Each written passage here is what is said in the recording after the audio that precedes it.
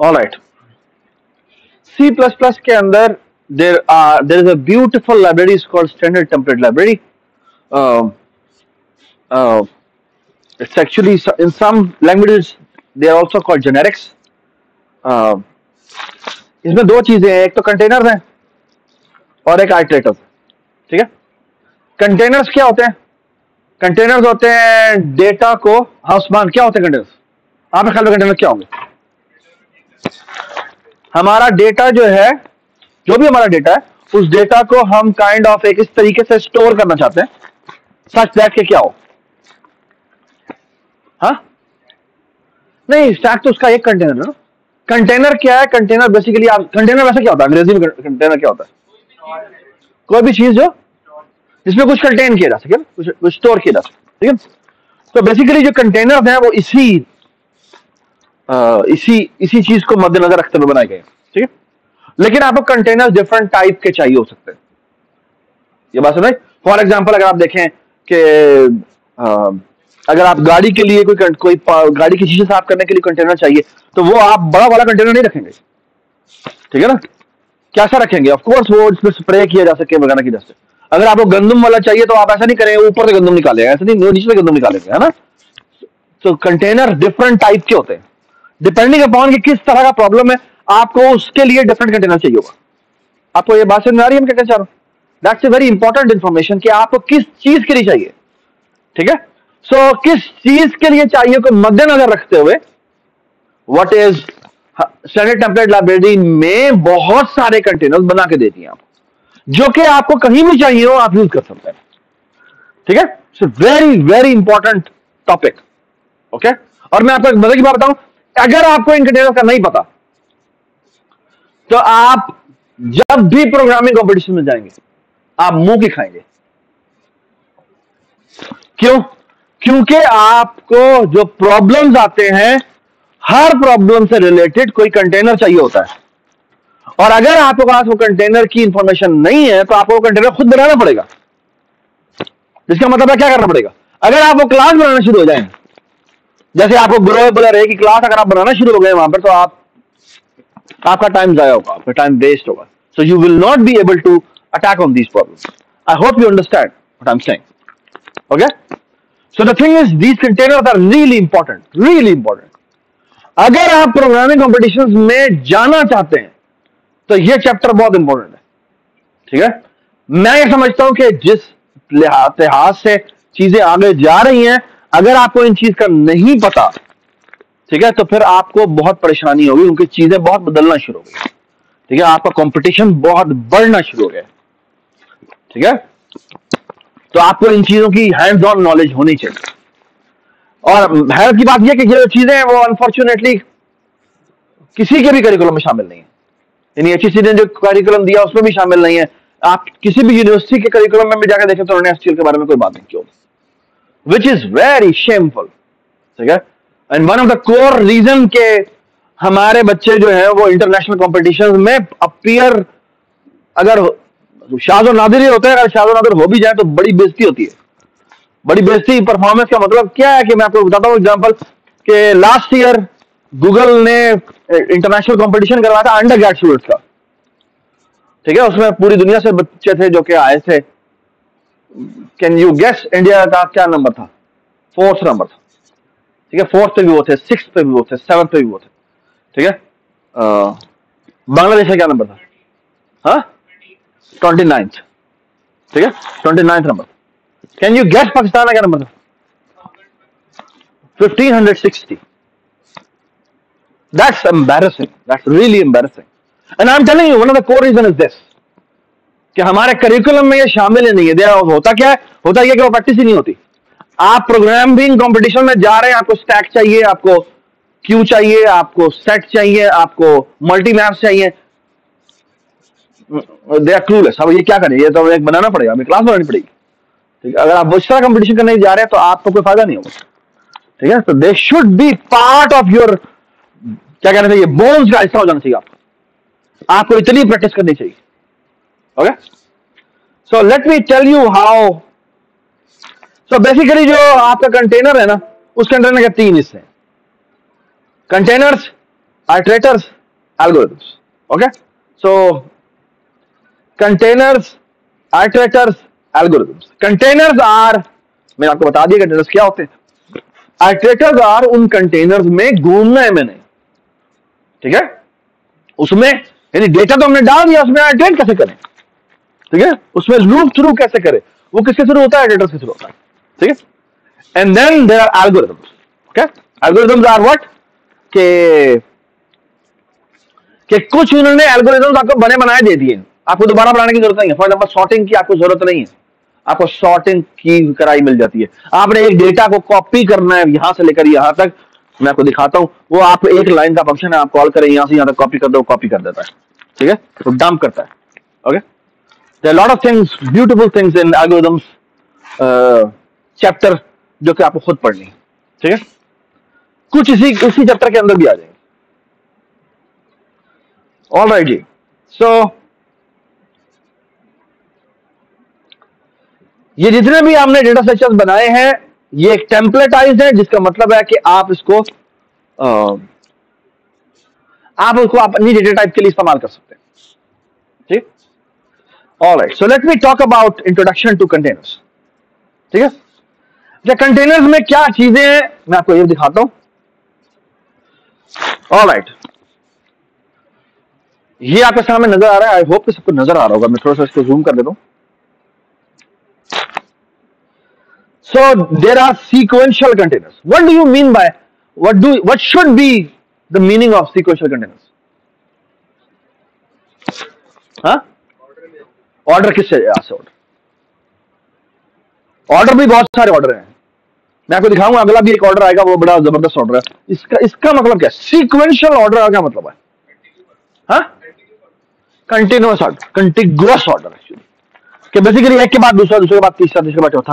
There should be some sort of order and that order is like sequential order जिसका sequence में होता है कि पहली टर्म दूसरी टर्म तीसरी टर्म चौथी टर्म इस तरह की चीज़ आई होती है। I hope everybody understand okay जिस तरह there are two containers one is actually array actually not two actually three four के अंदर है।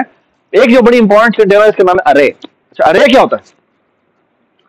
Array is the container which is a static array okay आपको अरे जब डिक्लेयर करेंगे, आपको दिखाऊँगा कि उसमें क्या चीज़ होती है। आप सबसे पहले, हमने एक्चुअली यूज़ भी किया हुआ है अरे बताते हैं आप टाइप बताते हैं, और फिर कहते हैं? साइज़ बताते हैं। ठीक है? उसमें दो चीज़ें बताने ज़रूरी होती है। उसके बाद डी क्यू है D queue is double ended queue double ended queue का मतलब क्या है? It's a static array it's a static array but it expand in both direction मतलब कि इसके पुश बैक का फ़ंक्शन भी होगा और पुश फ्रंट का फ़ंक्शन भी होगा। ये बात सुने? इस तरह पॉप बैक का फ़ंक्शन भी होगा और इस तरह से पॉप फ्रंट का फ़ंक्शन भी होगा। आपको ये बात समझ और मज़े की बात। अरे जो है it is direct access to element direct access का मतलब क्या? है that is also called random access random access का मतलब क्या? है किसी भी एलिमेंट को आप एक्सेस करना चाहते हैं, आप सिर्फ़ एक इंडेक्स देंगे, वो डायरेक्टली उस इंडेक्स पर जाएगा. In how much time in how much time? O of one time? ये बात समझ sir direct access in O of one time direct access in O time by the way अब मैंने आपको अब आपको समझ में आया कि मैंने टाइम आपको पहले क्यों करवाई है? क्योंकि इन सारे डेटा में जो चीज़ इंपॉर्टेंट है, वो है। ओके एक से दूसरे पे हम क्यों जा रहे होंगे? उसमें सबसे एसेंशियल पार्ट टाइम का होगा। ठीक है? So double queue the nice thing about double queue is कि फ्रंट और बैक दोनों साइडों से इंसर्शन और डिलीशन हो सकती है। और डायरेक्ट एक्सेस भी है। Okay that's called doubly ended queue D queue D queue भी कहते हैं डेक भी कहते हैं। ठीक है? ये बात सुनना I hope everybody understand it okay एक छोटी सरप्राइजिंग बात है कि इसमें वेक्टर क्यों नहीं लिखा हुआ? वेक्टर लिखा हुआ? हाँ आ गया and then there is a very nice अच्छा मैं इसके बारे में बाद बताता हूँ। Then there is a very nice data structure is called vector what is vector vector हमने यूज़ किया हाँ। वेक्टर इज़ ए ग्रोएबल है ठीक है? लेकिन it only grows in one direction just like a vector vector आपने देखा है ना? वेक्टर में एक डायरेक्शन में एरो होती है तो बेसिकली ऐसे ही यहाँ पर से ये एक डायरेक्शन में ग्रो कर सकता है। और एक डायरेक्शन भी एक्चुअली होती है जिस पुश बैक जिसे कहते हैं। ये बात समझ तो पुश बैक कर सकते हैं पॉप बैक कर सकते हैं, ठीक है? So it actually gives you direct access to an element which means how much time of one time ठीक है? ये बात समझाएँगे और मज़ेदार बात यह कि इंसर्शन एंड डिलेशन एट ये लिखा क्या लिखा हुआ एट बैक वे सिर्फ़ सिर्फ़ सिर्फ़ एंड पे आपकी आपकी इंसर्शन हो सकती है। ये बात समझ ठीक है?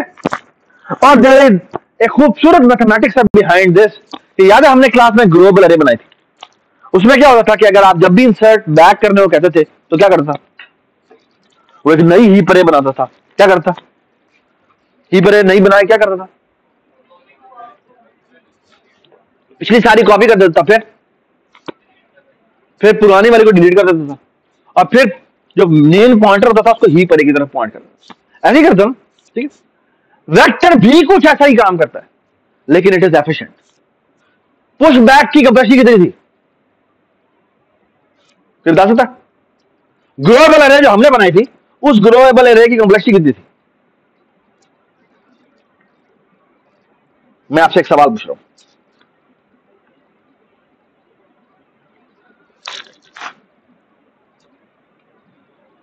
सब पहली इंसेशन पे कॉस्ट आएगी वन है ना? दूसरी पे कॉस्ट कितनी आएगी? बताएँ कितनी कॉस्ट आएगी? जितना साइज़ होगा टू है ना? जितना साइज़ होगा प्लस वन क्यों? क्योंकि पिछली भी कॉपी करनी और आगे एक अगली भी कॉपी करनी जी, आगे बताएँ। थर्ड इंसेशन पे कितनी कॉस्ट आएगी? तीन। फोर्थ इंसेशन पे कितनी कॉस्ट आएगी? फोर फिफ्थ इंसेशन में कितनी कॉस्ट आएगी? फाइव आप बताएँ। अगर मैं एन सेशन करता हूँ, कितनी कॉस्ट आएगी?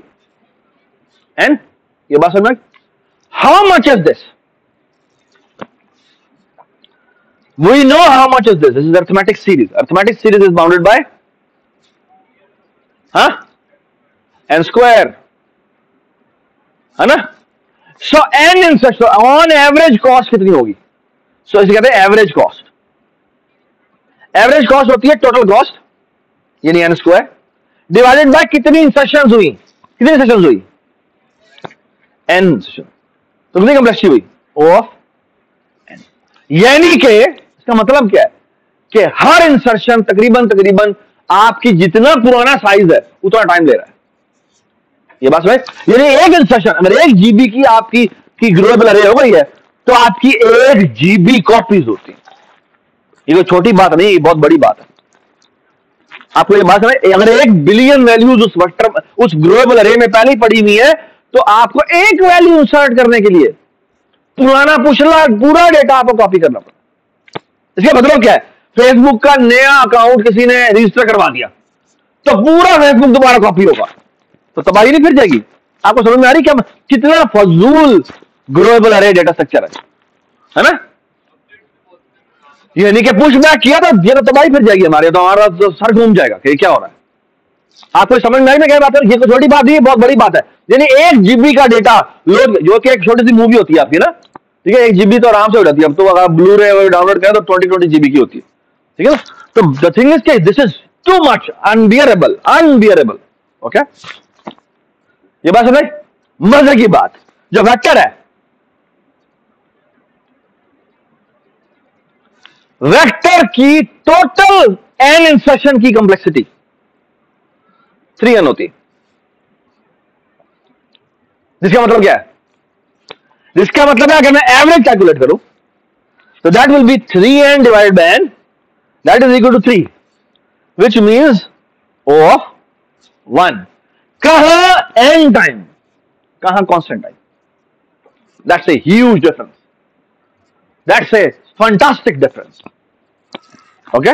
And you should appreciate के vector, that's why vectors are very fast, lightning fast.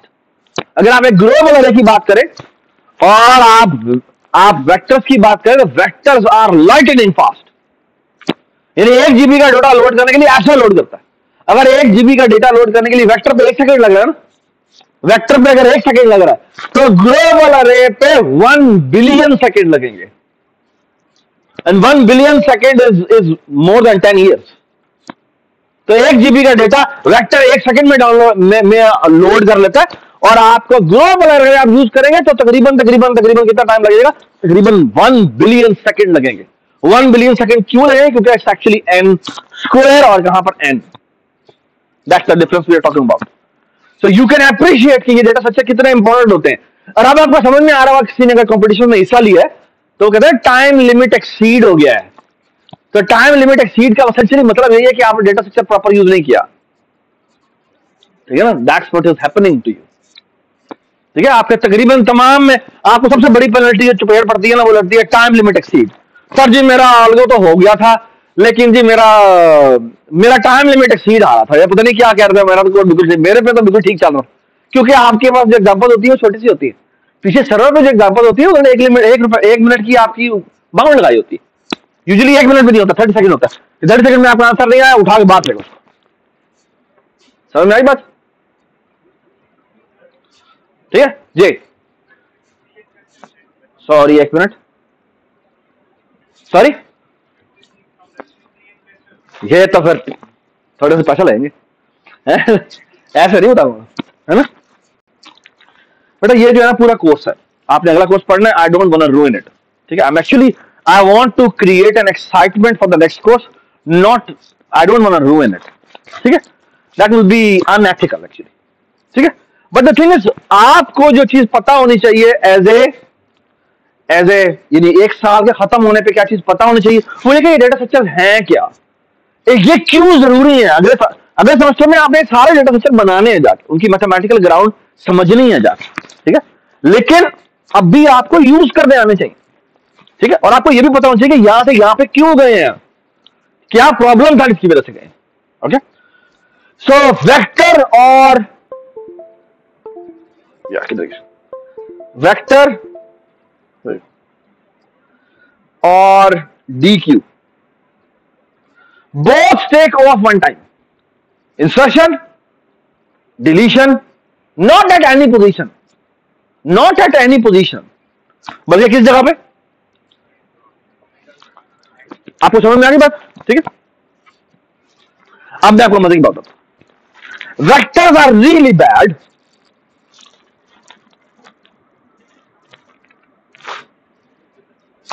vectors are really bad अगर आप बनाए vector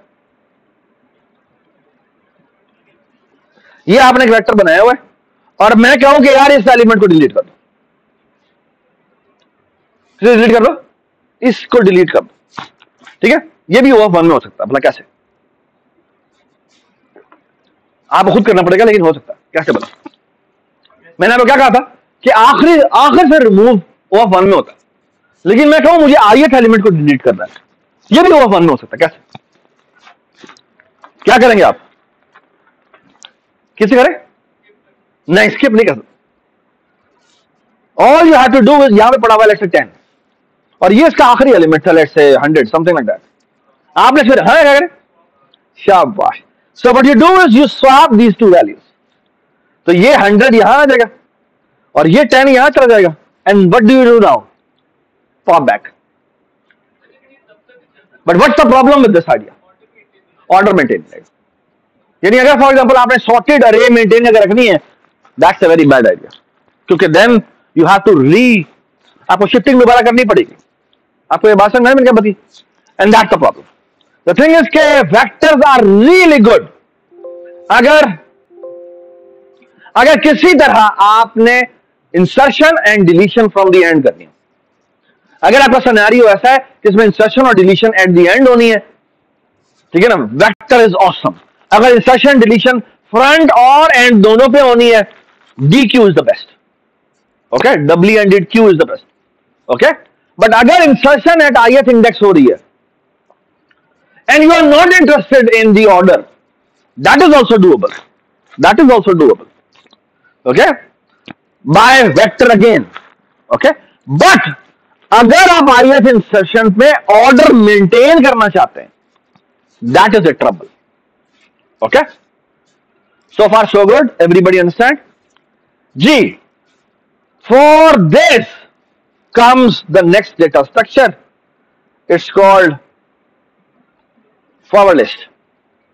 So what is forward list so forward list is a list जिसके अंदर बड़ी खूबसूरत चीज़ है वो ये है कि अगर मैं आपको, मैं ऑर्डर मेंटेन रखना चाहता हूँ मैं ऑर्डर मैं ऑर्डर मेंटेन रखना चाहता हूँ ठीक है? और मैं हाइएस्ट एलिमेंट पे इंसेशन करना चाहता हूँ। ठीक है? The nice thing is forward list does this insertion अरे, ये पढ़े क्या लिखा हुआ है? ये क्या लिखा हुआ है? रैपिड इंसर्शन रैपिड इंसर्शन का मतलब ये है कि आप उसे कहें आइएथ एलिमेंट पे यहाँ इंसर्ट कर दो। ये ओवर वन में इंसर्शन करता है।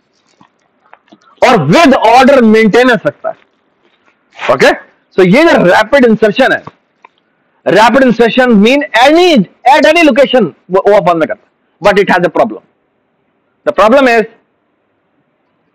it does not give you direct access. It does not give you direct access. ये बात समझ गए दैट्स द प्रॉब्लम ओके ठीक है? अगर आपने आल्टरनेट शुरू करना है लूप ऐसे करके तो कोई मसला नहीं है। लेकिन मैं कहूँ ना हाँ पचास में एलिमेंट पे जाओ। ओ, नहीं नहीं आप एक सौ एक सौ पचास में एलिमेंट पे जाओ। This list this forward list is very very bad is very very bad okay आपको ये बात समझ आ ठीक है? So insertion is very very good in forward list ठीक है? All right so far so good I hope you understand के फॉरवर्ड लिस्ट क्या है. ओके अच्छा फॉरवर्ड लिस्ट के अंदर जो इंपॉर्टेंट चीज़ है वो ये कि इट्स कॉल्ड फॉरवर्ड लिस्ट क्या मतलब? होगा इसका क्या इसमें हम इस तरह जा सकते हैं? आगे चलते जाओ, आगे चलते जाओ, आगे चलते जाओ। ओ नहीं नहीं, पीछे जाओ पीछे जाओ। हाँ?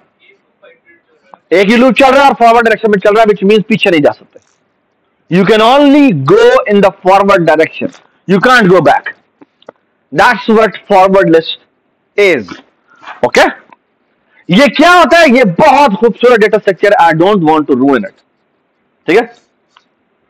बट आइडिया बड़ा ही सिंपल आइडिया मैं छोटे से आपको एक सीड के तौर पर दे देता हूँ।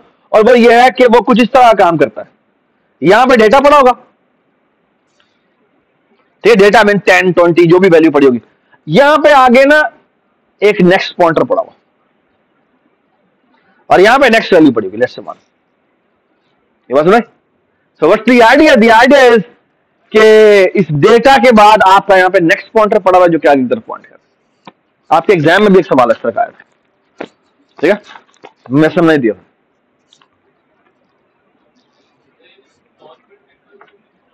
ज़ोर से बोलो।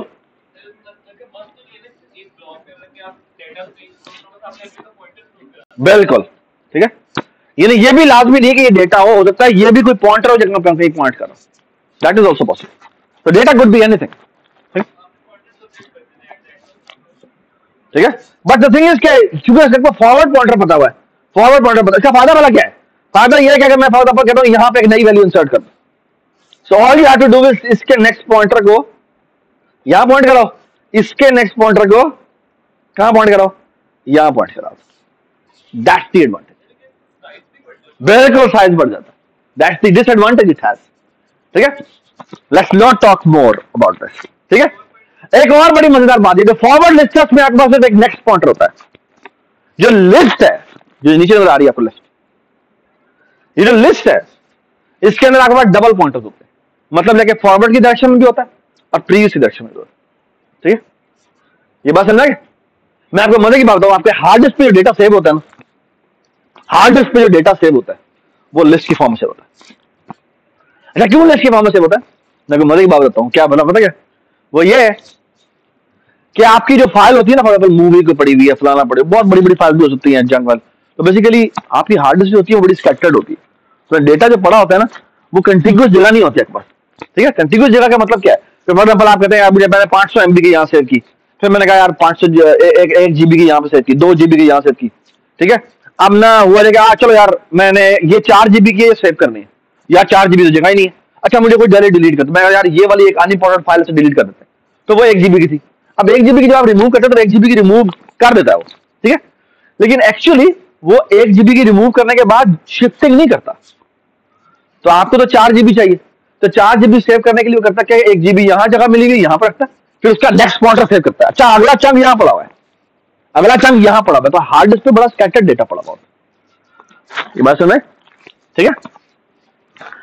अच्छा आपको मज़े बात जो वायरस होते हैं ना कंप्यूटर वायरस वो बताया करते हैं।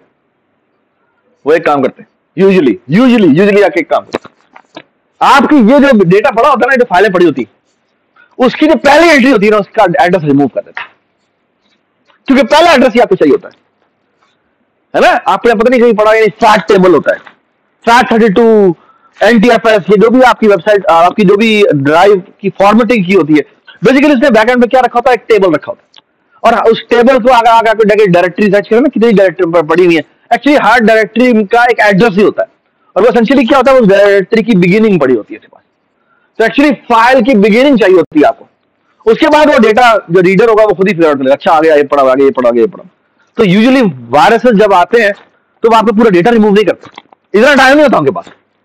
तो what they usually do is कि वो फैक्ट टेबल में जाके, या जो भी टेबल होता है, उसका जाके क्या करते उसकी जाके पहली एंट्री रिमूव कर देते और जब पहली एंट्री रिमूव होती है तो क्या होता है? आपको बस ट्रैक खत्म रहता ये बात नहीं तो जो रिकवरी सॉफ्टवेयर है, वो उल्टा चलते हैं।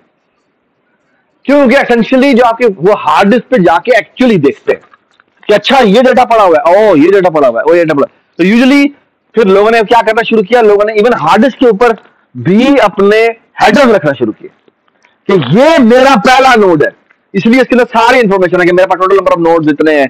मैंने इतना डेटा सेव किया हुआ है। फिर वो यूजुअली रिकवरी सॉफ्टवेयर जो होते हैं वो उनके वो आ, लिखे जाते हैं खुद लिखे जाते हैं। रिकवरी सॉफ्टवेयर क्या होते हैं? फॉर एग्ज़ाम्पल माइक्रोसॉफ्ट वर्ड ने अपना बताया हुआ मेरा हेडर ये है। तो जो रिकवरी सॉफ्टवेयर है वो माइक्रोसॉफ्ट वर्ड वाले की पूरा हेडर पड़ेगा। अच्छा इस तरह का होता है। अब मैं हार्ड डिस्क में देखता हूँ कहाँ कहाँ पर ये चीज़ पड़ी हुई है। ठीक है? तो इस तरह जाके वो फिर रिकवर करते हैं। समझ में ठीक है? All these things are really interesting जब आप ओएस पढ़ेंगे तो बड़ी डिटेल में यहाँ पर बात होगी। जी? एक एलिमेंट के साथ दो पॉइंट पड़े होते हैं। एक नेक्स्ट का, एक प्रीवियस का।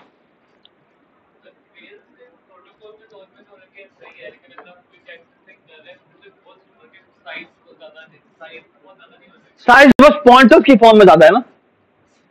बट इमेजिन करेंगे डेटा जीबीज में है। तो total number of node let's say वो एक हज़ार है तो एक हज़ार पॉइंटर पड़े होंगे बस। दैट्स ओके है ठीक है नहीं अगर आपको एक जीबी सेव करनी है और एक जीबी के ऊपर वो अपना चार के बी साथ सेव कर दिए चलो मैटर ठीक है? चार के बी आपको और ऊपर मिल जाए और डेटा आपका बड़ा रैंडम एक्सट्री मिल जाए। कोई शिफ्टिंग की ज़रूरत ना पड़े। It has it has big advantage ठीक है? अच्छा आपको यह बात समझ में आई अब मैंने क्या मतलब था सीक्वेंशियल का? सीक्वेंशियल का मतलब है कि मैंने सीक्वेंशियली मूव करना है। एक लूप की तरह मूव कर रहा है मैं अरे में मूव करता हूँ ठीक है? So then these four data structures are really good कौन कौन से? अरे D Q forward list list और वेक्टर ठीक है? ऑर्डर इंपॉर्टेंट नहीं है. सीक्वेंस इंपॉर्टेंट है. ऑर्डर इंपॉर्टेंट नहीं है. सीक्वेंस इंपॉर्टेंट है. ठीक है? राइट ऑर्डर का क्या मतलब है? मैं भी आपको बताता हूँ. For example sorted is an order अरे, का शॉर्ट होना is an order okay all right अब मज़े की बात। ये जो अगले कंटेनर देखो देखो ऑर्डर्ड एसोसिएटिव कंटेनर्स इनके अंदर क्या ज़रूरी बात है? इनके अंदर ऑर्डर इंपॉर्टेंट होता है। यानी ऑर्डर इंपॉर्टेंट होने का मतलब सिंचुरी क्या है? आई एम इंटरेस्टेड कि सबसे मिनिमम वैल्यू कौन सी सेकंड मिनिमम वैल्यू कौन सी थर्ड मिनिमम वैल्यू कौन सी फोर्थ मिनिमम वैल्यू कौन सी आपको ये बात समझ में आ रही? उसके लिए ये चार डेटा स्ट्रक्चर बहुत इंपॉर्टेंट है। One is called set set में क्या होता है? सेट क्या होता है? आप बताएँ मैथमेटिकल सेट क्या होता है? मैथमेटिकल सेट क्या होता है? हाँ? शाबाश। किसने बोला डिस्ट्रिक्ट हाँ क्या फ़र्स्ट तुम्हारा नाम क्या? ही बताएँ। क्या? शाबाश। Distinct objects distinct object distinct elements का मतलब यह है कि अगर एक एलिमेंट दोबारा डालने की कोशिश करेंगे हम, जो पहले ही मौजूद है तो वो इंसर्ट नहीं होगा। And I going to show you in examples कि कैसे वो उसको मेंटेन करता है। ठीक है? ठीक है? अफान आर यू ऑलराइट ठीक है? अच्छा सेट में वो एक एलिमेंट को एक ही दफ़ा इंसर्ट करता है। मल्टी सेट में आप चाहें तो एक एलिमेंट को मल्टीपल दफ़ा इंसर्ट कर सकते हैं। That's why it is called multi set यानी एक एलिमेंट मल्टीपल दफ़ा आ सकता है। लेकिन वो साथ साथ पड़े होंगे। Okay okay? अच्छा एक और मज़े की बात। अगर आप सेट बनाते हैं और सेट का जो भी डॉट बिगिन लिखते हैं तो पता है डॉट बिगिन कहाँ पॉइंट करा वो सबसे मिनिमम वैल्यू सबसे मिनिमम वैल्यू पॉइंट करा और अगर आप प्लस प्लस करेंगे तो वो किस जगह पे चला जाएगा? वो सेकंड मिनिमम में चला जाएगा। फिर थर्ड मिनिमम में चला जाएगा एंड सो ऑन और अगर आप आर बिगिन करेंगे तो क्या होगा? आर बिगिन क्या होता है? रिवर्स बिगिन तो वो मैक्सिमम की तरफ़ पॉइंट करा और प्लस प्लस करेंगे तो सेकंड मैक्सिमम तरफ़ आ जाएगा so on so does it make sense जी। हाँ ये सारा ऑर्डर अब ये कैसे मेंटेन करता है? इंपॉर्टेंट बात, बहुत इंपॉर्टेंट बात तुमने की ये इंपॉर्टेंट बात ये है कि ये जो डेटा स्ट्रक्चर है बैक एंड पे, ठीक है? वो इंस्पायर है। एक बहुत खूबसूरत एल्गोरिथम से। और उसका नाम है binary search binary search binary search किस तरह काम करता है? हाफ़ मिडिल पे जाता है, फिर जाता है?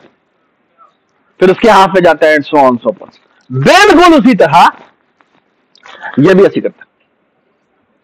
तो बेसिकली क्या है बैक एंड पे ऐसा डेटा स्ट्रक्चर बनाया हुआ है कि वो उसके अंदर बाइनरी सर्चिंग इंप्लीमेंट हो सकती है।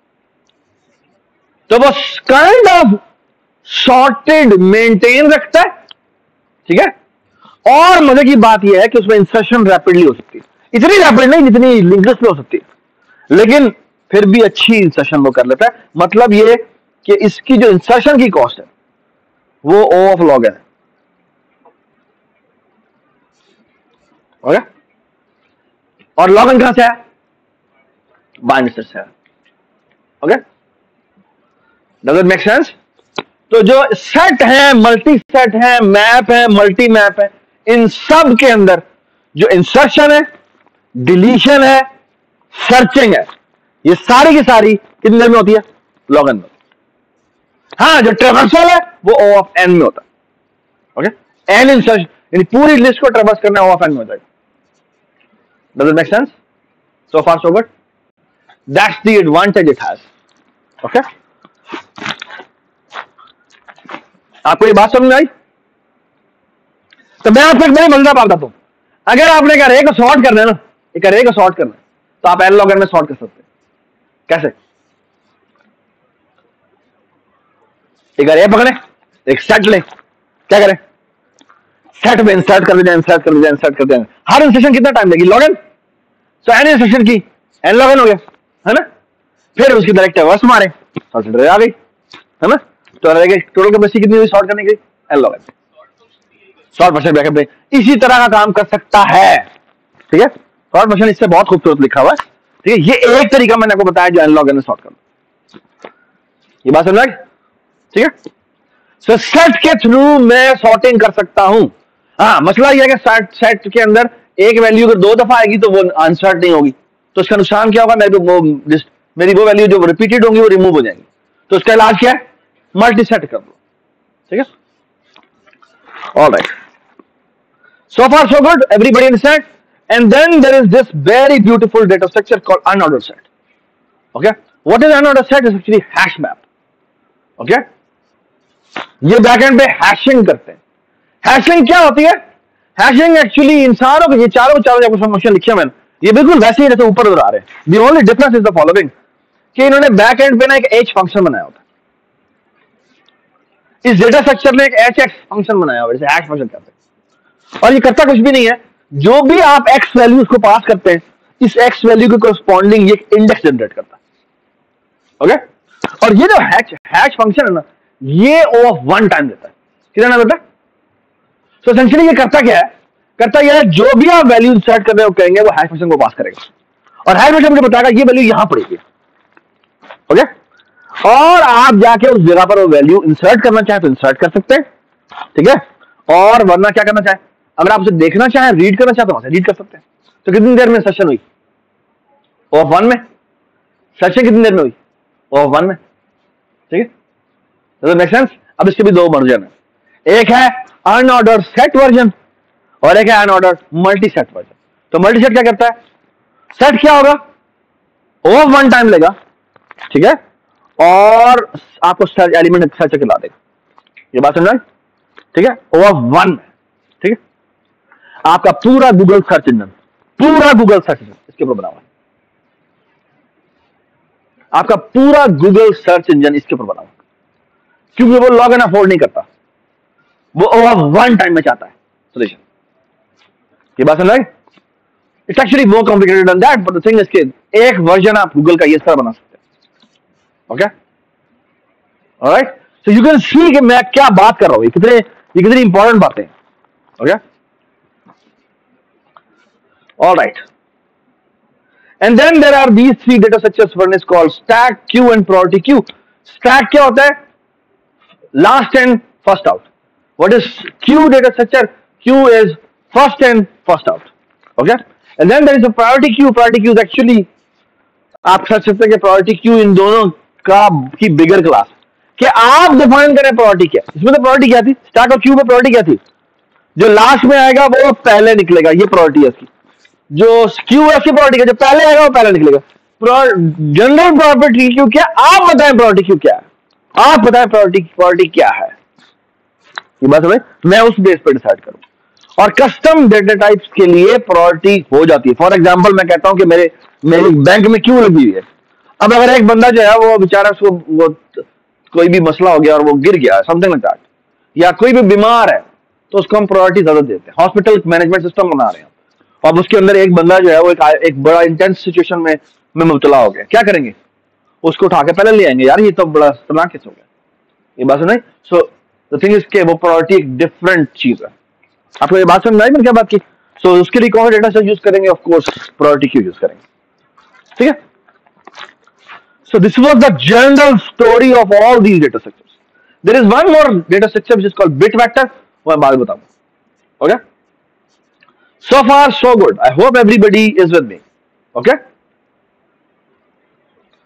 कोई इशू तो नहीं So far, so good. Everybody understand? ठीक है So let's move forward.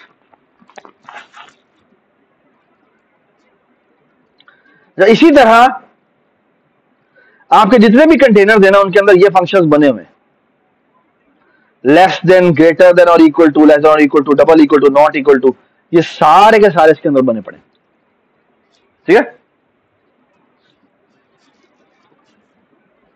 और ये देखिए, इसके अंदर ये कंस्ट्रक्टर भी बने हुए हैं।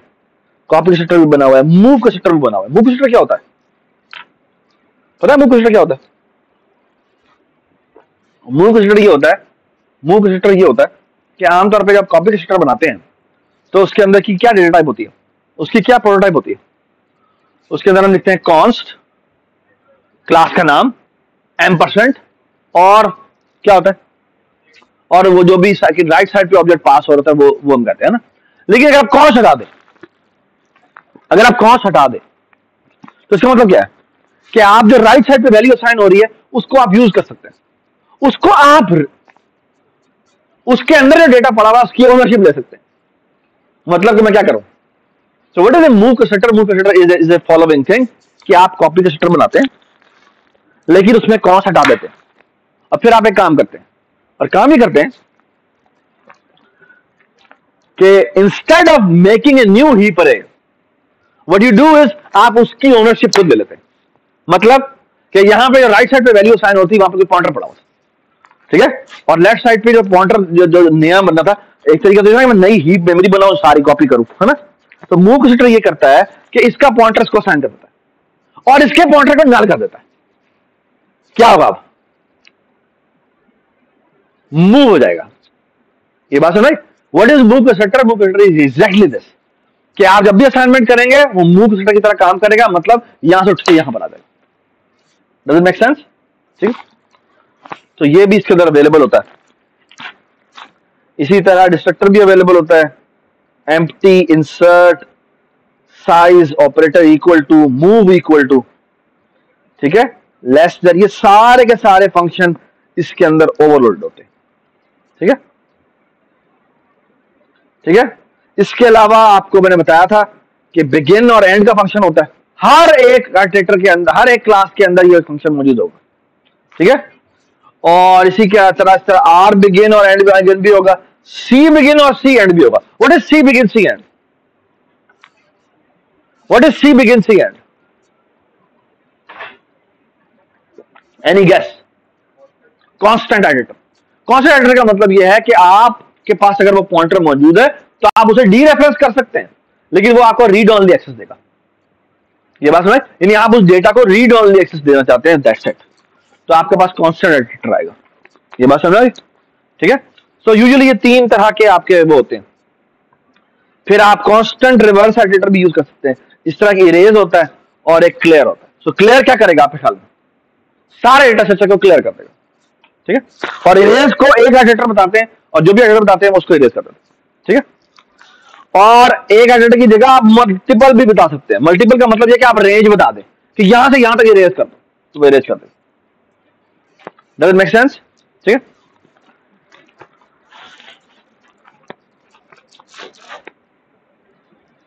उसके बाद आगे यहाँ पर उसने बाइटेटर बताए में तो ये देखें एक, एक आर्टिलेटर होता है।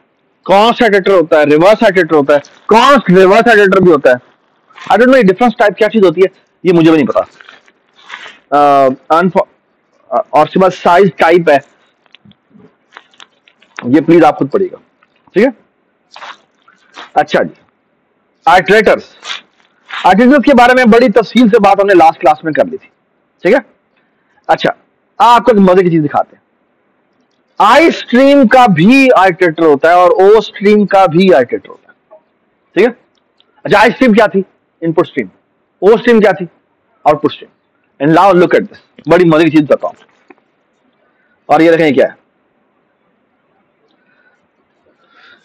ऊपर देखिए मैंने क्या इंक्लूड किया? आयो स्ट्रीम और आइट्रेटर इंक्लूड किया। ठीक है? और यहाँ देखिए हम क्या बना रहे हमने कहा, क्या करो? एक सी आउट करो एंटर टू इंटीजर्स और हमने यहाँ पे आई स्ट्रीम की। आई स्ट्रीम आइट्रेटर की एक, का एक वेरिएबल बनाया और उसको हमने क्या असाइन कर दिया? सीन असाइन कर दिया। ओके तो एसेंशियली क्या है? ये जो सीन का पाइप है ना सीन का जो पाइप है, उसको मैं, उसके ऊपर मैंने ये वाला एटीट्यूड डाल दिया। क्या मतलब हुआ? मतलब कुछ इस तरह हुआ कि ये सी इनका पाइप है। ये सी है। और ये जो इनपुट एंट है, वो कह रहा है, मैं यहाँ पर पॉइंट कर रहा हूँ। उसकी बिगिन की तरफ़ पॉइंट कर रहा हूँ, ठीक है? उसके बाद देखें क्या हो रहा है। उसके बाद उसने कहा कि int number one is equal to this you know what is this equal to This is equivalent to this. C in number 1. This is actually equivalent to this. Okay? आप एसेंशियली क्या कह रहे हैं? आप कह रहे हैं इनपुट लो इनपुट लेके, ठीक है? इसको असाइन कर दो। ये बात सुने बट एक छोटी सी इंपॉर्टेंट बात है। और वो ये है कि ये क्या लिखा हुआ है? ये क्या लिखा हुआ है? ये क्या लिखा हुआ है? ये जो आपने बताया। ये आई स्ट्रीम का डेटा जो मैं बना रहा हूँ, इसमें यहाँ पे एट लिखा हुआ है।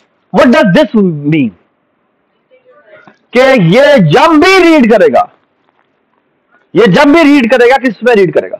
चार बाइट उठा कर लाएगा यानी जब भी आप इसका डी रेफरेंस करेंगे, ये चार बाइट उठा कर लाएगा। कहाँ से चार बाइट उठा कर लाएगा? जो भी इसके पाइप के अंदर पड़े होंगे वो चार बाइट उठाएगा, चार बाइट उठा कर दे देगा। That's what it means okay अगर मैं वहाँ क्या करता तो क्या करता? तो ये एक बाइट उठा के लाता। ये बात समझ अगर मैं डबल करता तो क्या करता? तो ये आठ बाइट उठा के ले आता। और वो उनको डबल कहता डज इट मेक सेंस ठीक है? सॉरी क्या? ऑटो यूज़ कर सकते ठीक है? किसमें ऑटो यूज़ करते यहाँ पर। हाँ? करके देखिएगा यहाँ पर, इस लाइन पे। मेरे ख्याल में आई डोंट नो मुझे नहीं पता। क्योंकि सीन जो है ना, वो तो है, मेरे ख्याल में नहीं कर सकते। या तो आप उसको सीन डॉट बिगिन कहें। सीन डॉट बिगिन करके उसको निशान करवाएँ, फिर शब्द कर लेगा। ठीक है? चलिए देखिए इसी तरह हमने क्या काम किया? हमने ओ स्ट्रीम का एडिटर बनाया, और उसको जाके मैंने कहा ये कर लो, है ना? और ये देखिए, मैंने कहा सी आउट दिस और मैंने कहा ये number one plus number two और डी रेफरेंस करके कहाँ रखवाओ? ये जो आउटपुट वाला एडिटर डेटा पर रखवाओ। ये किसी किसी जगह पर जाकर रखवाएगा। ये कंसोल स्क्रीन पर जाकर रखवाएगा। ये बात समझ ठीक है? तो देखें, ये उसकी आउटपुट होगा। बताने का मतलब यह था कि आप, आपका, आपकी इनपुट स्ट्रीम और आपकी आउटपुट स्ट्रीम उसके साथ भी आप खेलना चाहें तो आप खेल सकते हैं। ये बात सुन मज़े की बात यह कि इसके थ्रू आप प्लस प्लस करेंगे तो आगे चला जाएगा माइनस माइनस करेंगे तो पीछे आ जाएगा। है ना? तो पिछली वैल्यू को अगर मैंने रिप्लेस करना है तो वो रिप्लेस भी कर सकता है। जाकर ट्राई कीजिएगा। मैंने कभी ट्राई नहीं किया ठीक है? इधर आ जाए।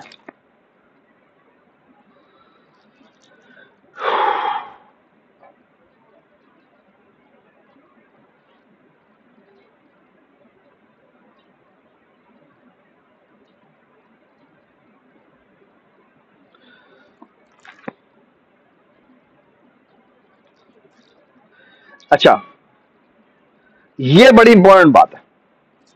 मैंने आपको बता तो दिए लेकिन दोबारा देख लेते हैं। जो आपके सीक्वेंशियल कंटेनर्स हैं, जो सीक्वेंशियल कंटेनर्स वो आपको रैंडम एक्सेस देते हैं। Other than list and forward forward list हमेशा फॉरवर्ड डायरेक्शन में आपको इजाज़त देती है। जो लिस्ट है, वो बाई डायरेक्शन होती है। बाई डायरेक्शन मतलब क्या है? कि वो फॉरवर्ड डायरेक्शन में भी जा सकती है और पीछे भी जा सकती है। ठीक है? इधर आ जाए। सेट क्या करता है? Set does not give you random access okay it is bidirectional but एक बात याद रखें कि इसके अंदर जो इंसर्शन और डिलीशन होती है वो कितने में होती है? वो लॉगन में होती है। ओके वेक्टर के अंदर एंड में इंसर्शन जो होती है वो ऑफ़ वन में होती है। अरे में एंड में और शुरू में जिससे हो नहीं सकती क्योंकि वो स्टैटिक होती है। हाँ जी, जो डी की होती है, उसके शुरू में और एंड में इंसर्शन ऑफ़ वन में होती है। और जो लिस्ट है, उसकी आई एच के ऊपर भी ऑफ़ वन में होती है। ओके फॉरवर्ड में। ओके सेट में इंसर्शन डिलीशन लॉगन में होती है। ओके ये जो अनऑर्डर सेट है, ये जो अनऑर्डर सेट है, ये सारे काम ऑफ़ वन में करते okay of course other than I treated the entire data set वो तो ऑफकोर्स ऑफ़ एन में होगा। डज मेक सेंस ठीक तो आपको एक सवाल करना चाहिए कि, कि ये है तो फिर वो उसकी ज़रूरत क्या है? है ना? है ना? There is a problem and the problem is कि अगर मैंने ये काम करना फॉर एग्ज़ाम्पल मैं कहता हूँ कि यार ये टी वैल्यू है ना ये ढूंढ के लाओ। तो ये काम ये इससे बेहतर कोई नहीं कर सकता। ये टी वैल्यू ढूंढ के ला ये एक्चुअली ओवर फॉर्म में निकाल देगा। लेकिन अगर मैं कहूँ अच्छा अगर नहीं मिलती तो तुम इसका नियरेस्ट लेके आओ। अब ये अब ये फारिग हो गया। क्यों? क्योंकि ये अनऑर्डर सेट है, वो बड़ा डिसऑर्डर क्रिएट करता है। मतलब ये क्या ऐसा हो सकता है कि छोटी वैल्यू को ऊपर रखे, बड़ी वैल्यू को नीचे रखे तो उससे बड़ी वैल्यू को दोबारा ऊपर रख दे। ये बात समझ क्यों? क्योंकि वो हैश फ़ंक्शन ने उसको इंडेक्स बताने अब हैश फ़ंक्शन कैसे है, हमें नहीं पता। आपको ये बात समझ में आ रही मैं चाह रहा हूँ ठीक है? लेकिन अगर आप कहें कि इस टी से छोटी वैल्यू मुझे चाहिए, या इस टी से जस्ट बड़ी वैल्यू मुझे चाहिए which one is the best this one is the best okay अगर मैंने नेबरहुड को फिगर आउट करना है तो फिर कौन बेहतर है? ये बेहतर अब आपको समझ में आ रहा होगा कि क्यों इन डेटा स्ट्रक्चर की ज़रूरत है। क्योंकि सनारियो टू सनारियो ये वेरी करते हैं। ओके उसके बाद स्टैक और क्यू है। स्टैक और क्यू की मज़ेदार बात यह है कि जो स्टैक और क्यू है, उसमें इंसर्शन और डिलीशन दोनों ऑफ़ वन में होती है। ओके और स्टैक और क्यू में आप आइट्रेट नहीं कर सकते। स्टैक और क्यू में आप आइट्रेशन नहीं कर सकते। The only way to iterate it is आप सिर्फ़ ऊपर वाला एलिमेंट ले सकते हैं बस, जो अभी एक्सेस होने वाला है। यानी कि स्टैक में जो टॉप पे पड़ा होगा, वो आपको मिल सकता है। उसके बाद वाला नहीं मिल सकता। ठीक है? और जो क्यू है, उसमें कौन सा वाला मिल सकता है? जो सबसे पहले इंसर्ट हुआ था, वो वाला मिल सकता है। और कोई नहीं मिलेगा। ठीक है? और प्रायोरिटी क्यू में कौन सा वाला मिल सकता है? प्रायोरिटी क्यू में कौन सा वाला मिल सकता है? जो जो इस वक्त प्रायोरिटी में टॉप पर है। वही मिलेगा, बाकी नहीं मिलेंगे। Okay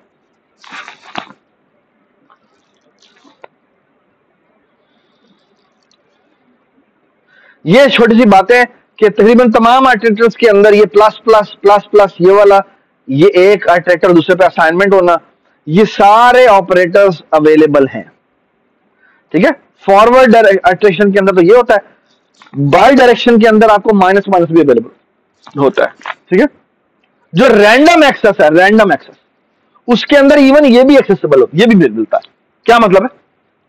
P plus equal to i इसका मतलब क्या होगा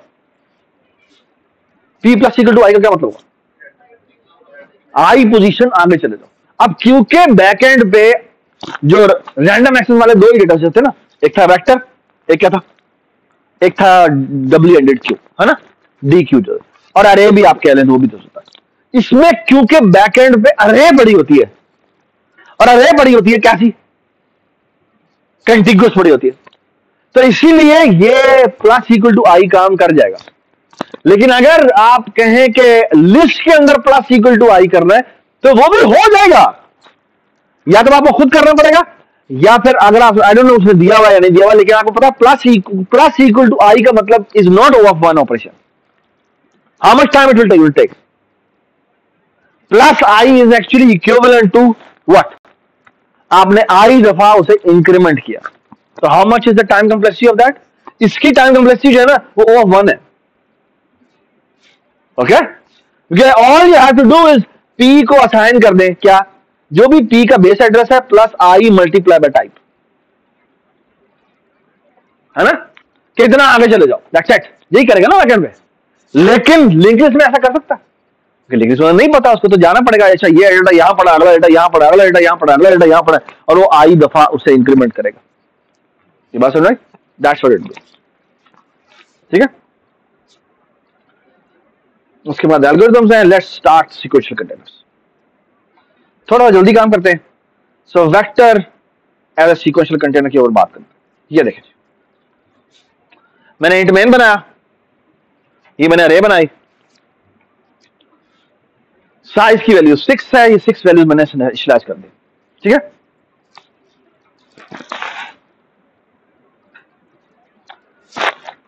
जी। उसके बाद देखिए हमने क्या काम किया। हमने कहा वेक्टर इंटीजर्स बनाया। ठीक है? और अगर मैं इंटीजर्स का डॉट साइज़ कॉल करूँगा तो कितना आएगा? कितना आएगा? ज़ीरो आएगा। और बाद में इसकी बैकेंड पे दो वैल्यूज़ होती है, क्योंकि साइज़ होती है कैपेसिटी कैपेसिटी भी ज़ीरो ही आएगी, है ना? ऑल राइट कैपेसिटी थिंक शुरू में ज़ीरो ही होती है वन होती है ट्वेंटी वन ठीक है? अच्छा जब हम इंटीजर में तीन दफ़ा पुश करते हैं ना तो मज़े की बात ये होती है, छोटी सी आपको राज की बात बताता हूँ। होता यह है कि जो वेक्टर की बैकएंड पे इंप्लीमेंटेशन हुई हुई है ना, वो ना करती है कि ना, वो भी ग्लोबल अरे की तरह ही होती है। लेकिन दी ओनली डिफरेंस इज़ कि यहाँ पे ना ये दो चीज़ यूज़ करती है साइज़ और एक कैपेसिटी और वो ये कहता है सिंपल सा एक आइडिया सिंपल तरीन एक आइडिया और वो ये है, जब भी मेरी, मेरा वेक्टर कंप्लीट हो जाएगा फुल हो जाएगा। Okay okay? जब भी मेरा वेक्टर फुल हो जाएगा और मैं कोई नई वैल्यू इंसर्ट करूँगा तो मैं एक साइज़ इंक्रीमेंट नहीं करूँगा। बल्कि जितना भी पिछला साइज़ था, उसका डबल कर दूँगा। क्या मतलब? अगर मैंने पहले चार साइज़ था और पाँच ही वैल्यू इंसर्ट होने के लिए आ रही है और वो फुल हो गया तो मैं अरे जो बैकेंड पे बनाऊँगा, वो वो पाँच साइज़ की नहीं होगी बोले कितने साइज़ की होगी? आठ साइज़ की होगी। और पिछली चारों कॉपी करके ये वैल्यू नहीं कॉपी करूँगा। अब अगली तीन वैल्यू मुझे फ्री में मिलेंगी। क्यों? जगह तो पड़ी हुई है। है ना? ऑल टू डू जो वैल्यू वहाँ पर रखूँगा रखूँ रखूँ ओ वन में हो जाएँगे। ये बात सुनाई? और जब आठवें के बाद नवीन सेट करूँगा तो वो सोलह साइज़ की बना देगा। Okay that's how it works okay so exact दिखाता हूँ। अगर मैंने पुश किया, तीन वैल्यूज़ पुश की साइज़ की वैल्यू अभी भी तीन होगी, लेकिन कैपेसिटी की वैल्यू पता कितनी होगी? फोर होगी। ठीक है? यू कैन सी दैट ये देख। ये देख रहे साइज़ की वैल्यू थ्री है। कैपेसिटी कितनी है? फोर ठीक है? उसके बाद हम एक और काम करते हैं। आ, उसके बाद देखें ये ये देखें ये पढ़ा क्या लिखा हुआ है। इसको हमने क्या कहा? हमने बेसिकली ये जो बाय द बिगिन फ़ंक्शन जो होता है ना बिगिन फ़ंक्शन क्या करता है? ये बिगिन फ़ंक्शन जो कि एटेटर में डिफाइन है। उसको आप एक अरे का नाम दें तो वो एक्चुअली उसका उसको उसके नाम से रिप्लेस कर देता है। मतलब है यहाँ पर ये आ जाएगा। ठीक है? और अगर मैं कहता हूँ PTR is not equal to end of values तो वो एसेंशियली क्या करेगा? ये खुद खुद फिगर आउट कर लेता है साइज़ कितना है, और उसमें वो उतना आगे ऐड करके बता देते हैं इतना आता है। ठीक है? ये बिल्कुल उन्होंने ये बताया हुआ है कि ये इस तरह काम करते हैं। ठीक है? उसके बाद उसने प्रिंट वेक्टर बनाया हुआ है, और कहता है, यही काम आप चाहते तो ऐसे भी कर सकते हैं। कि आप ऑटो बनाए रिवर्स एटेटर बनाए integer dot c r begin लिखें, और इस तरह से ठीक है?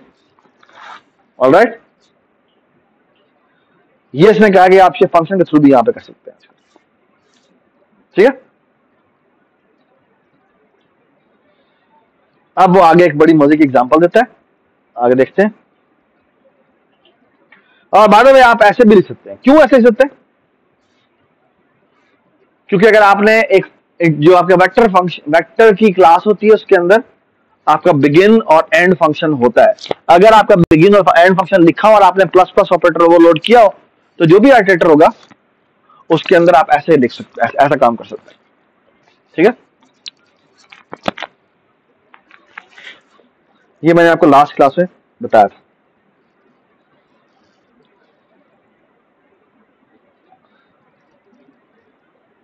This is actually equivalent to this this thing कि मेंबर इसमें एक्चुअली मेंबर इनिशियलाइजेशन वाला कंस्ट्रक्टर बना हुआ है। ठीक है? अच्छा अब एक मज़े की चीज़ देखते हैं। That's a very nice example आपने अरे की क्लास बनाई? अरे की क्लास का बेसिकली आपने क्या किया है? आपने की अरे बनाई है और साइज़ लिखा है। तो ये छह साइज़ की ब्रेकअप पे अरे बन जाएगी। ठीक है? अब आगे की चीज़ देखो। आगे चीज़ ये है कि मैंने वेक्टर बनाया और यहाँ पे इंटीजर्स लिखा। ठीक है? तो इसकी जो वेक्टर की क्लास है, उसके अंदर ना एक बड़ा खूबसूरत कंस्ट्रक्टर बना पड़े और वो ना इस तरह की इनिशियलाइजेशन कर सकता है। इसका क्या मतलब है?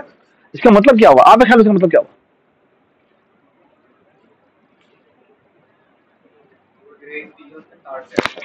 अच्छा वो कहता है कि बेसिकली जो इंटीजर्स का वेक्टर है, वो तुम इनिशियलाइज करो और वो कहाँ से कहाँ तक इनिशियलाइज करो? वैल्यूज़ डॉट सी बिगिन से लेकर कहाँ तक? वैल्यूज़ डॉट सी एंड तक। यानी ये तमाम का तमाम इसमें डेटा तो ये कितने साइज़ का वेक्टर बन जाएगा? सिक्स साइज़ का वेक्टर बन जाएगा। और ये वैल्यू उसमें कॉपी भी हो जाएगी। ठीक है? अब अगली बात देखेंगे, बड़ी ज़बरदस्त बात। हमने ओ स्ट्रीम का एक बनाया। ओ स्ट्रीम का एक एडिटर बनाया। और फिर हमने कहा, यार, ये भी इंटीजर टाइप का ठीक है? और साथ हमने कहा सी आउट करना है तुमने। और ऐसा करना है कि हर आउटपुट जो तुम करो ना, उसके बाद क्या कर देना? स्पेस आउटपुट कर देना। और आप देखना क्या करते हैं। ये फ़ंक्शन पढ़े पढ़े क्या लिखा आपने कहा कॉपी और ये रखा इंटीजर्स डॉट सी बिगिन से लेकर इंटीजर्स डॉट सी एंड तक अच्छा कहाँ कॉपी करो? इस जगह कॉपी करो। ये क्या है? ये क्या है?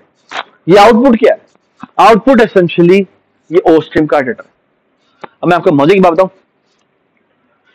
ये जो कॉपी हमने बनाया है ना, ये कॉपी की जो लाइन लिखी है लाइन नंबर ट्वेंटी लिखी है, ये ना लाइट लाइटनिंग फास्ट होती है। आमतौर पर जब आप सी आउट यूज़ करते हैं तो वो बहुत स्लो होता है। आपको ब्लिंक हुआ हुआ नज़र आता है। आपको बड़ा लगता है ब्लिंक हो रहा है ब्लिंक हो रहा है ना? जब आप गेम्स भी खेल रहे होते हैं तो ब्लिंक होता है। ये बहुत फास्ट है। ये आपने एसेंशियली क्या किया? स्ट्रीम लेवल पे जाके खुद प्रिंटिंग किया। This is a very fast operation so आप एसेंशियली अगर आप अगर आप, अगर आपने कंसोल बेस्ड सिमुलेशन बनानी हो, और आप क्लियर स्क्रीन नहीं यूज़ करना चाहते तो क्लियर स्क्रीन यूज़ कर क्लियर स्क्रीन यूज़ करेंगे तो क्या होगा? वो जिटर आता है है ना? सो so, ये कॉपी फ़ंक्शन अगर आप यूज़ करेंगे तो वो इतना फास्ट होता है कि वो लगता है रियल टाइम में चेंज हो रहा है रहा है। आपको ये बात समझ में क्या बात की ठीक है? सो कॉपी फ़ंक्शन क्या करता है? कॉपी से ये कहता है कहता है यहाँ से लेकर यहाँ तक कॉपी करो। कहाँ कॉपी करो? ये आउटपुट में तुमने क्या है। और आउटपुट को हमने कैसे डिफाइन किया था? कि ये एक्चुअली किसका पॉइंटर है? ये कहता है सी आउट का और दरमियान में क्या आ रही है? स्पेस आ रही है। ये बात समझ आई होप एवरीबडी अंडरस्टैंड अच्छा मैं आपसे एक और सवाल पूछता हूँ। वट इफ़ के मैं यहाँ पे आउटपुट की जगह ये अरे लिख देता अब क्या होगा? अगर मैं यहाँ पे अरे लिख देता क्या होता बाकी नहीं अरे नहीं अरे अरे डॉट बिगिन कर देता समथिंग दैट तो ये क्या करता? गैस क्या कह रहे हो तुम? हम कह रहे हैं वेक्टर का जो ये वाला पोर्शन है, ये जाके कहाँ राइट कर दो? कहाँ जाके राइट कर दो? हाँ? ये राइट कर दो कहाँ पर जाके? अरे के ऊपर जाके राइट कर दो। अरे डॉट बिगिनिंग दे दिए, खुद ही आगे आगे जाके राइट हो बात समझ? That's the nice thing about it तो कॉपी फ़ंक्शन और इवन मज़े की बात, मैं यहाँ पे, अगर मैंने अभी तो वेक्टर वेक्टर डेटा से बनाया हुआ अरे बनाया हुआ है, मैंने कोई सेट डेटा से बनाया होता और मैं यहाँ पे सेट की बिगिनिंग दे देता। तो ये वाला पोर्शन जाके कहा राइट कर देता? एक सेट में जाके राइट करता। अब आपको समझ में आ रही है कितनी बड़ी पावरफुल बात है। ये जो डेटा कंटेनर्स हैं, ये एक दूसरे के अंदर आपने ट्रांसफॉर्मेशन करनी हो, ऐसे ट्रांसफॉर्मेशन होती है आपको सारी, अगर आपने इससे उसमें कन्वर्जन करनी है तो आपको कोई दोबारा फ़ंक्शन लिखने की ज़रूरत नहीं है। ठीक है ना? ये जो सारे फ़ंक्शन हमने लिखे हुए ये सारे के सारे ऑटोमेटिकली बैकएंड में चल जाएँगे। डज मेक सेंस जी।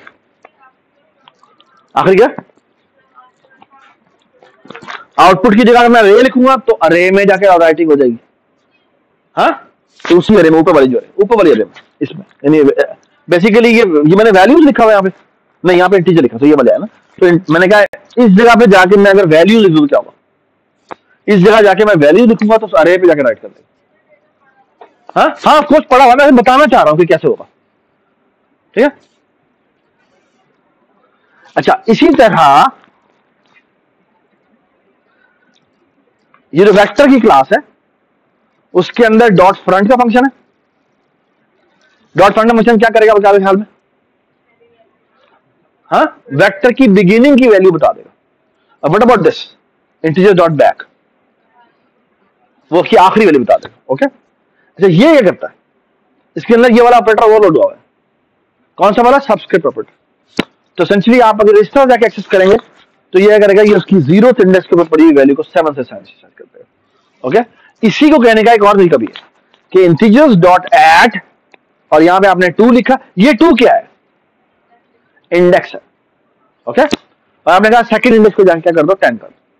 ये बात समझ तो essentially I hope you agree कि ये जो हमने ये जो इंटीजर्स की अरे बनाई है, इसके अंदर क्या पड़ा हुआ है? ऑफ़ कोर्स यहाँ पे पड़ा हुआ है one two three four five six तो ये कह रहा है कि ज़ीरो का जाकर सेवन कर रहा है तो इस जगह पे सेवन हो जाएगा। और ये कह रहा है टू को टेन कर दो मतलब ये थ्री को क्या कर दो? टेन कर दो। ये बात समझ और अब आपने कहा कि ये ये पढ़ेंगे क्या लिखा हुआ है? गैस करें क्या करेगा?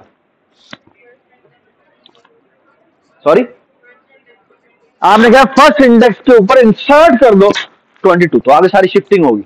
विच मीन्स क्या हो? जाएगा ये कहेगा क्या ये रहा है कि तुम एक काम करो शिफ्टिंग करो। यहाँ पे सेवन आ जाएगा। और सेवन के बाद यहाँ ट्वेंटी टू आ जाएगा, फिर टू आगे हो जाएगा। और फिर टेन हो जाएगा, और फिर फोर हो जाएगा, फिर फाइव हो जाएगा, फिर सिक्स हो जाएगा। ये बात समझ? उसके बाद हमने कहा कॉपी कर दो दोबारा सो। आफ्टर चेंजेस हमारी अरे ये होनी चाहिए seven twenty two two ten पढ़ते, देखते। Seven twenty two two ten four six ये बात समझ आई होप एवरीबडी अंडरस्टैंड कि आपको एक ऐसा डेटा स्ट्रक्चर मिल गया है जो क्या करता है? जिसमें किसी भी जगह पर आप इंसर्शन करवाना चाहें इंसर्शन करवा सकते ठीक है? बट एक बात याद रखें ये जो इंसर्शन हमने की है, जो डॉट इंसर्ट करके, ये ओ ऑफ़ वन में नहीं हुई। ये कितनी में हुई है? ये ओ ऑफ़ एन में हुई है। क्यों ओ ऑफ़ एन में हुई है बेटा? क्योंकि सारी अगली वैल्यूज़ जो है वो शिफ्ट हुई हो ये बात सुना बस just just keep this thing in mind this is not an of one operation but the thing is कि आपको डेटा स्ट्रक्चर मिला हुआ है, आप उसको यूज़ करना चाहें तो यूज़ कर सकते so far so good everybody understand उसके अलावा आपको एक बड़ी मज़ेदार बात यह है कि आपके, आपने अगर, आपने इसका हंड्रेड इंडेक्स एक्सेस करने की कोशिश की तो एक्सेप्शन थ्रो होगी। एक्सेप्शन थ्रो होने का मतलब क्या है? क्या मतलब एक्सेप्शन थ्रो होने का? हाँ कि बेसिकली आपका बैक एंड पे उसने एक्सेप्शन थ्रोइंग का कोड लिखा हुआ है तो अगर आप इस पर ट्राई कैच लगाना चाहें तो लगा सकते हैं। ठीक है? उसके बाद लेट्स से देखें इंटीजर्स डॉट एरेज और यहाँ पे हमने ये पास कर। इसका मतलब क्या है? बेटा आपसे आप बताएँ, क्या मतलब लिखा, बताया? इसका मतलब क्या हुआ? आपके ख्याल में क्या मतलब हुआ? पहला एलिमेंट है ठीक है? तो पहला एलिमेंट एरिया अगली दफ़ा हम आउटपुट देखेंगे तो एक्चुअली पहली एलिमेंट रिमूव हुआ ठीक है? अच्छा आप बताएँ इसका मतलब क्या हुआ? सारे एलिमेंट रिमूव कर ये बात समझ अच्छा इसका मतलब क्या होगा ये देखिए दोबारा देखिए वट इफ़ के मैं कहता हूँ कि इरेज करो ये इंटीजर्स ये इसकी जगह मैं ये लिख देता हूँ। Integers dot begin plus two क्या मतलब उसका फ़र्स्ट थ्री वैल्यूज़ नहीं. First two values why first two values क्योंकि एक बात याद रखिए, आखिरी एलिमेंट इंक्लूड नहीं होता. जैसे आप डॉट एंड कहते हैं तो dot end is the end जो कि एक आगे होता है. तो उसके एक पीछे तक सारे रिमूव रहते. हैं जब मैंने प्लस टू का आया तो टू इंडेक्स इंक्लूडेड नहीं है. तो ज़ीरो वन एलिमेंट जो है, वो रिमूव हो जाए ये बात समझ आ गई? ठीक है? ये एक बहुत इंपॉर्टेंट फ़र्क है जो आपको पता होना चाहिए. ठीक है? सो फार सो गुड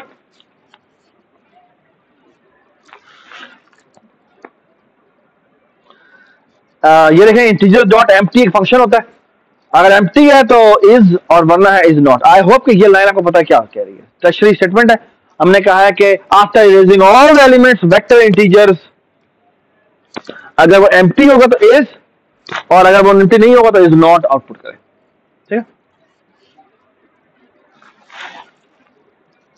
उसके बाद आपने क्या इंटीजर डॉट इंसर्ट ये रहे ये ये बड़ी मज़ेदार बात है। ये रहे ये क्या मतलब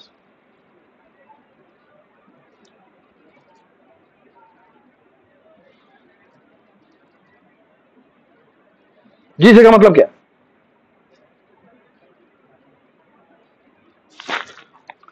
इसका मतलब क्या? उसने कहा इंटीजर्स डॉट इंसर्ट करो।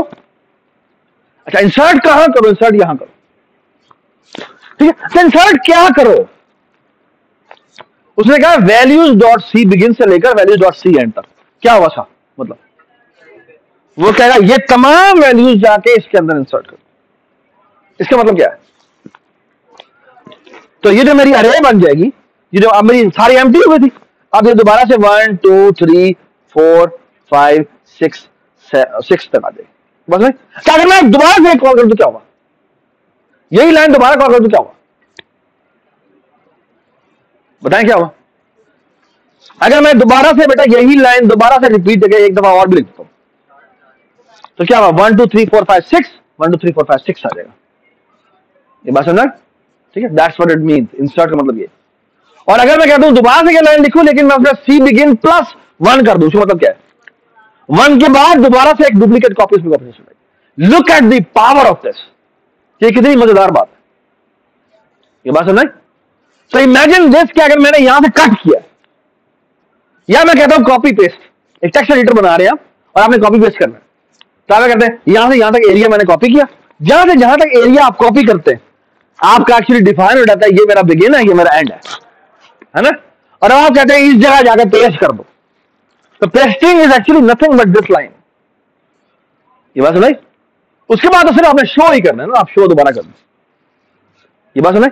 How powerful is this idea कि अगर आपने यहाँ से कॉपी किया, यहाँ पे पेस्ट किया, कैसे हो जाएगा? मेक सेंस इसी तरह आपने कट पेस्ट कर रहे हो तो कैसे होगा? थिंक अबाउट ठीक है?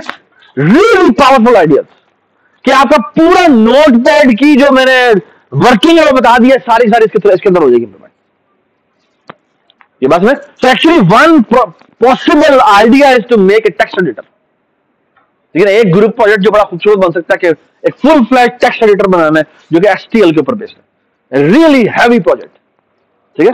कि पूरा टेक्स्ट एडिटर बनाना है, जो कि बेसिकली इसके ऊपर बेस्ड हो। ठीक है? एसटीएल बेस करता हुआ टेक्स्ट एडिटर बनाना है, उसको अच्छे से व्यू भी देना है, और उसकी बेस पर काम करना है। ठीक है? ये बड़ा ज़बरदस्त बनाया जा सकता है। ठीक है?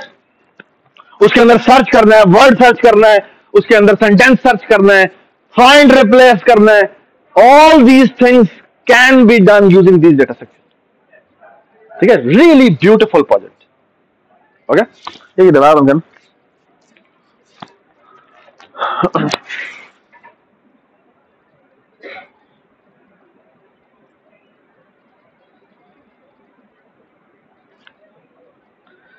ठीक है जी? अच्छा बेटा, अभी तक काफ़ी सारा ये चैप्टर पढ़ा है। अब try to finish it tomorrow ठीक है? तो कल पहले 40 मिनट्स में आई वुड वांट कि आप वो टाइम कम्प्लेक्सिटी के ऊपर काम करें और टाइम कम्प्लेक्सिटी में कुछ काम करके आए। ग्रुप पर थोड़ा सा बैठे प्रिंट निकाल के जाए आज और प्रिंट निकाल के असाइनमेंट के ऊपर थोड़ा सा काम करें। और कल पहले आधे घंटे के अंदर आई विल टेक सबमिशन ठीक है? उस असाइनमेंट के ऊपर आज काम थोड़ा करके जाए। ताकि, अगर कल की क्लास में आधे घंटे के अंदर मैंने वो सबमिशन आपसे ले ली है टाइम कॉम्प्लेक्सिटी की असाइनमेंट की। आपको मिल चुकी भी असाइनमेंट ठीक है ना? तो आपका प्रिंट निकालें प्रिंट लग जाए और उसको कंप्लीट करें। ठीक है? Thank you so much Allah